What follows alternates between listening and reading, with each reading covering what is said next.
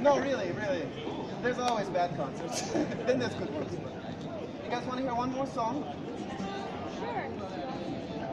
Shipbuilding in a Bottle. It's the title track on our, our first CD. Shipbuilding in a Bottle.